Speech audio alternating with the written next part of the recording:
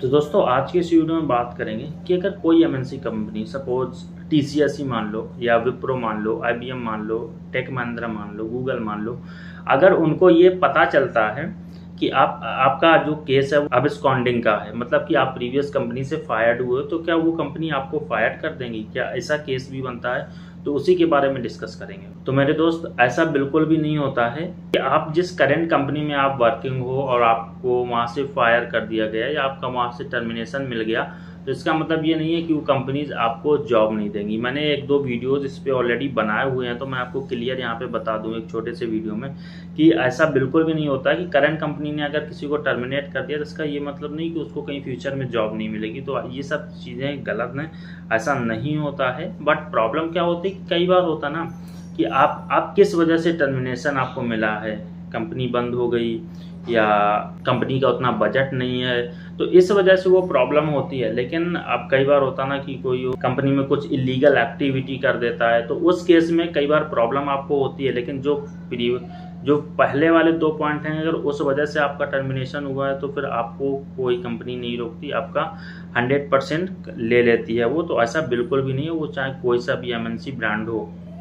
और दूसरी चीज़ ये कि जब आप इंटरव्यू देने जाते हो, वो चीज़ पहले से उनको क्लियर करके रखो कि मेरा इस वजह से टर्मिनेशन हो गया।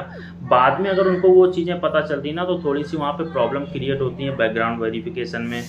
वो लोग करते नहीं, लेकिन जब वो चीज़ें आप पहले से उनको क्लियर करके रखते हो, पहले से बता के चलते हो कि मेरा ये ये केस है, अगर उनको नहीं लेना होगा तो इंटरव्यू के पहले ही वो मना कर देंगे। अगर उनको लेना होगा तो फिर वो आगे प्रोसेस करते रहेंगे।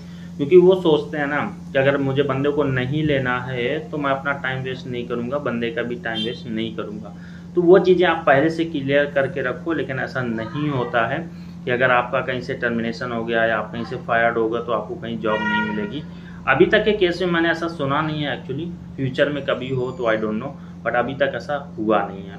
किसी का टर्मिनेशन हो भी गया है या कोई फायर्ड हो गया तो बेझिझक होकर आप जॉब ढूंढो।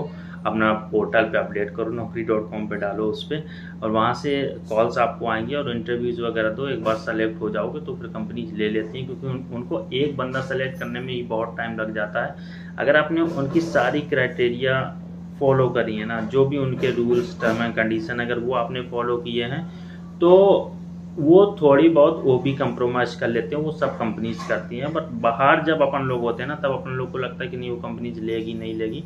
बट थोड़ा सा वो भी कंप्रोमाइज करते हैं बंदा देख के। अगर फॉर सपोज़ आपने दस में से दस क्वेश्चन अगर वहाँ पे बता दिए, उनका आंसर कर दिया है तो वहाँ पे वो चीज़ें कंपनी कंप्रोमाइज कर लेती हैं खुद ही।